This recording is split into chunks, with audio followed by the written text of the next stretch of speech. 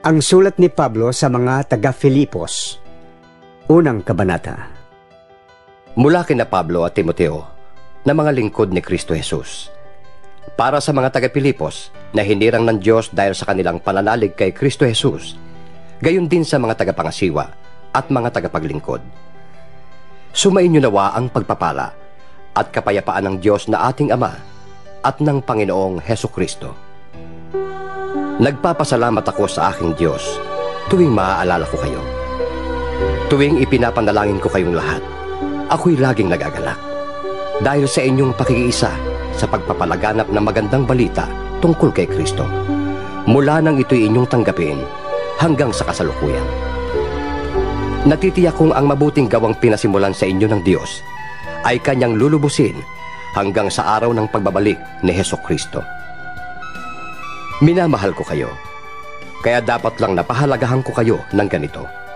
At dahil magkasama tayong tumanggap ng pagpapala ng Diyos, kahit ngayong ako'y nakabilanggo, o noong ako'y malayang nagtatanggol at nagpapalaganap ng magandang balita.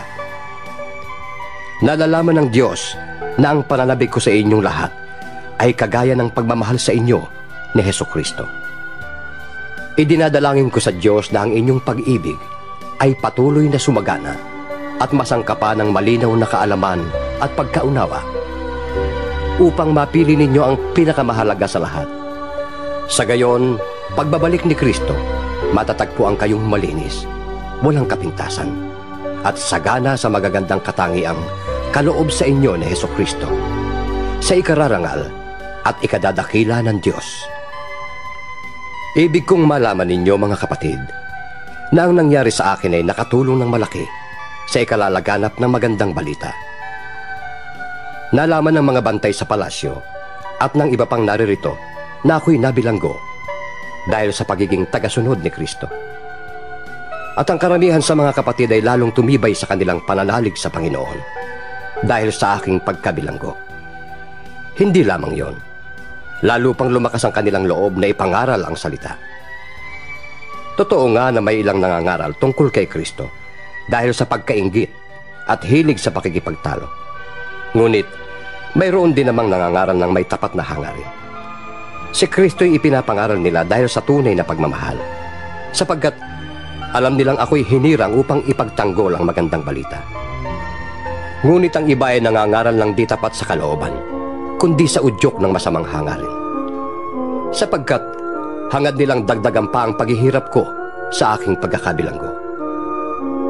Ngunit walang anuman sa akin ang lahat ng iyon. Ikinagagala ko pa nga na si Kristo ay naipapangaral. Maging tapat man o hindi ang hangarin ng ibang mga nangangaral.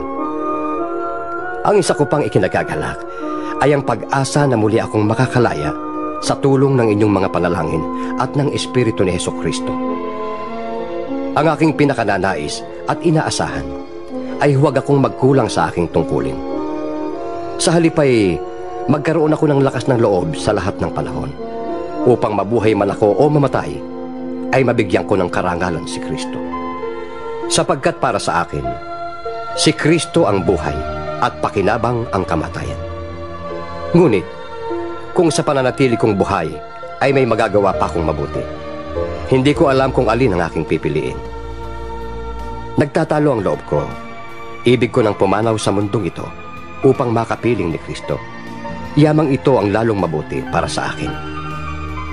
Ngunit alang-alang sa inyo, mas kailangan pang manatili ako sa buhay na ito. Dahil dito, natitiyak kong ako'y mabubuhay pa at makakasama ninyong lahat upang matulungan kayong magpatuloy ng may kagalakan sa inyong pananalig sa Panginoon. Kung magkagayon, lalo ninyo akong may pagmamalaki at lalo ninyong pupurihin si Kristo Jesus dahil sa aking pagbabalik sa inyo. Kaya nga mga kapatid, pagsikapan ninyong mamuhay ayon sa magandang balita ni Kristo. Sa gayon, makabalik man ako sa inyong piling o hindi, makakatiyak pa rin na kung kayo'y nananatili sa iisang layunin at sama-samang ipinaglalaban ang pananalig sa magandang balita. Huwag kayong matakot sa inyong mga kaaway. Magpakatatag kayo, sapagat ito mismo ang palatandaan na sila ay mapapahamak at kayo'y maliligtas. sapagkat ang Diyos ang nagbibigay sa inyo ng tagumpay. Dahil ipinagkaloob niya sa inyo, hindi lamang ang manalig sa Kanya, kundi ang magtiis din naman alang-alang kay Kristo. Ngayon, kasama ko na kayo sa pakikibakang nakita ninyong ginagawa ko noon. At nababalitaan ninyong ginagawa ko pa rin hanggang ngayon. Ikalawang Kabanata Nagbibigay ba sa inyo ng kasiglahan ang buhay na nakaugnay kay Kristo? Naaaliw ba kayo ng kanyang pag-ibig? May pagkakaisa ba kayo sa Espiritu Santo? Kayo ba'y may habag at malasakit na magtulungan? Kung gayon, lubusin ninyo ang aking kagalakan. Maghari sa inyo ang pagkakasundo. Mabuklod kayo sa iisang pag-ibig at magkaisa kayo sa puso't diwa. Huwag kayong gumawa ng anuman dahil sa paghahangad ninyong maging tanyag. Sa halip, magpakumbaba kayo at huwag ninyong isipin kayo'y nakakahigit sa iba. Ipagmalasakit ninyo ang kapakanan ng iba at hindi lamang ang sa inyong sarili. Magpakumbaba kayong tulad ni Kristo Jesus. Kahit siya ay Diyos, hindi siya nagpumilit na manatiling kapantay ng Diyos. Sa halip, ay kusa niyang binitawan ng karapatan niyang ito at namuhay na isang alipin. Ipinanganak siyang tulad ng isang karaniwang tao. Siya'y nagpakababa at naging masunurin hanggang kamatayan. O, hanggang kamatayan sa krus. Kaya naman, siya'y itinampok ng Diyos at binigyan ng pangalang higit sa lahat ng pangalan. Kaya't sa pangalan ni Jesus ay sasamba ang lahat ng nasa langit, nasa lupa, at nasa ilalim ng lupa. At ang lahat ay magpapahayag na si Heso Kristo ang Panginoon sa ikararangal ng Diyos Ama. Kaya nga, mga minamahal, kung paanong lagi kayong masunurin noong kasama pa ninyo ako, lalo kayong maging masunurin ngayon samantalang ako'y malayo sa inyo. May takot at panginginig na magpatuloy kayo sa paggawa hanggang sa malubos ang inyong kaligtasan. Sapagkat ang Diyos ang nagbibigay sa inyo ng pagnanasa at kakayahang maisagawa ang kanyang kalooban. Gawin ninyo ang lahat ng bagay nang walang pagtutol at pagtatalo upang kayo'y maging mga ulirang anak ng Diyos. Matuwid at walang kapintasan sa gitna ng mga taong mapanlinlang at masasama. Sa gayon, magsisilbi kayong ilaw sa kanila tulad ng bituing nagniningning sa kalangitan habang iniahatid ninyo sa kanila ang balita ng kaligtasan. Pagdating ni Kristo, ay maipagmamalaki ko kayo sapagkat hindi nawala ng kabuluhan ang aking mga pagpapakahirap. Kung ang buhay ko may maging handog sa inyong paglilingkod at pananampalataya sa Diyos, ikaliligaya ko pa rin yun. At hinahatian ko kayo ng aking kagalakan. Magalak din kayo at bahagi na ninyo ako ng inyong kagalakan. Umaasa ako sa Panginoong Hesus na mapapapunta ko agad yan si Timoteo upang mapanatag ang aking loob kung malaman ko mula sa kanya ang inyong kalagayan. Wala nang hihigit sa kanya sa pakikiisa sa aking damdamin at pagmamalasakit para sa inyong kapakanan. Ang inaatupag lamang ng iba ay ang sarili nilang kapakanan at hindi ang kay Heso Kristo. Kayo na rin ang nakakaalam sa katapatan ni Timoteo. Kasama ko siya sa pangangaral ng magandang balita, tulad ng pagtulong ng isang anak sa kanyang ama. Kaya, binabala kong papuntahin siya dyan pagkatapos kong matiyak ang magiging kalagayan ko rito.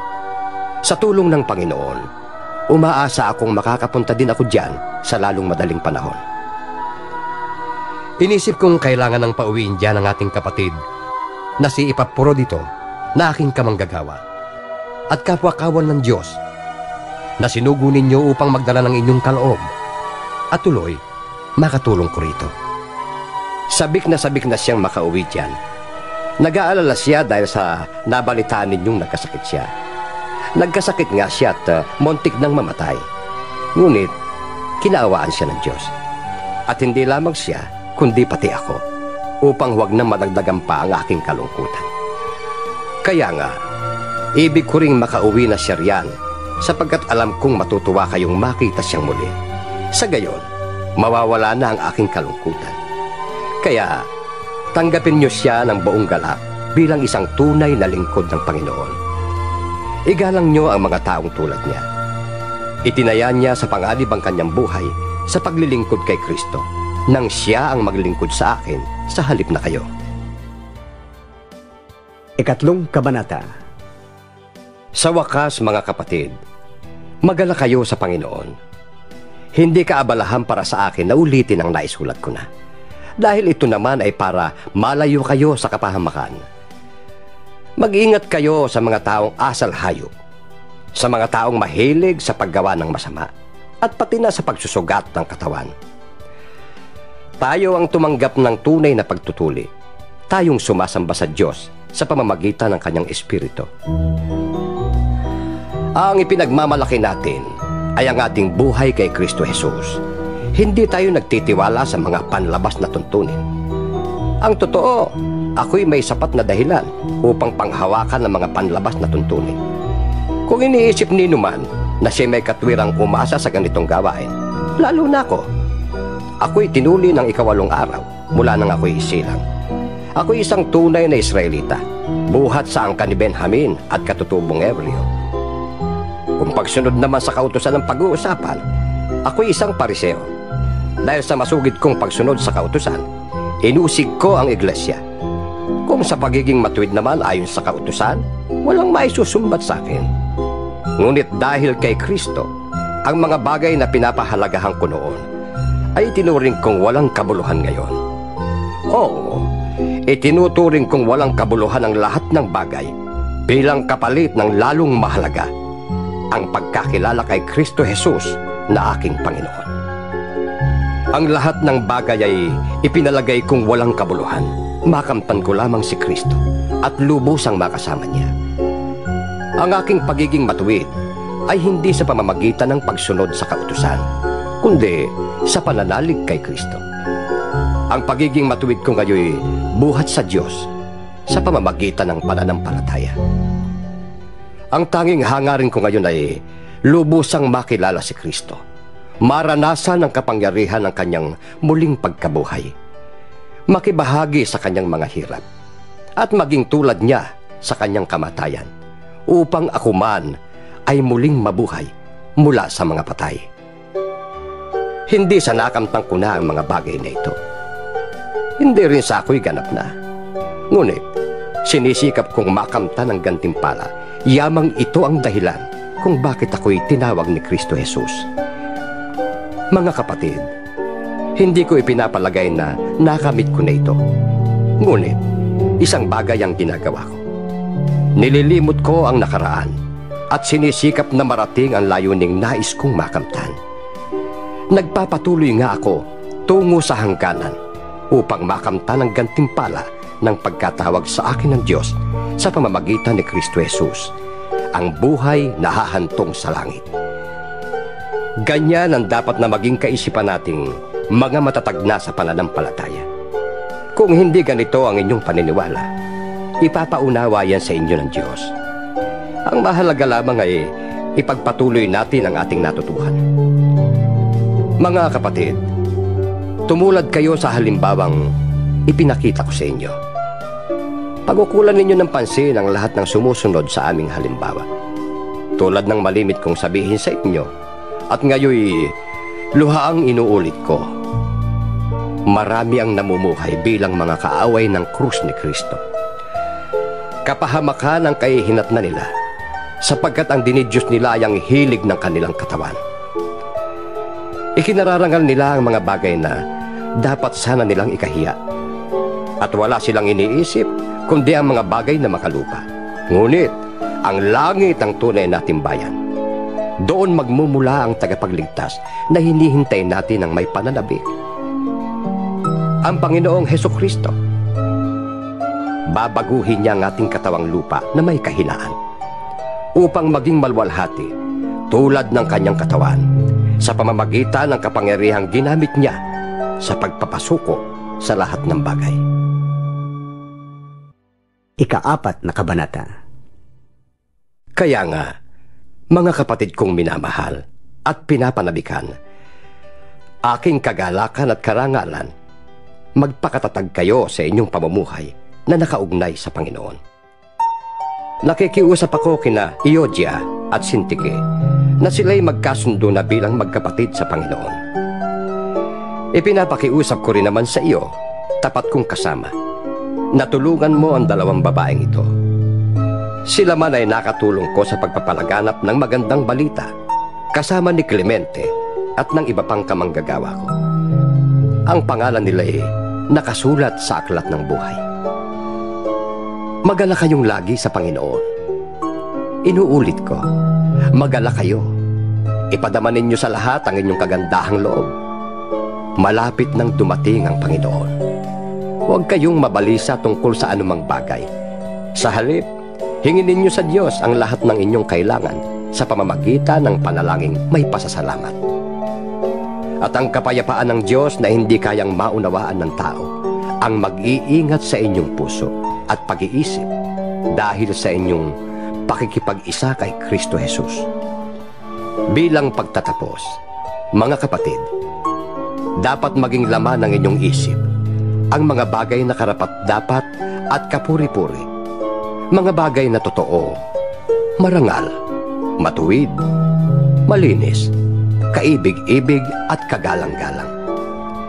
Isagawa ninyo ang lahat ng inyong natutuhan, tinanggap, narinig, at nakita sa akin. Sa gayon, sasa inyo ang Diyos na nagbibigay ng kapayapaan.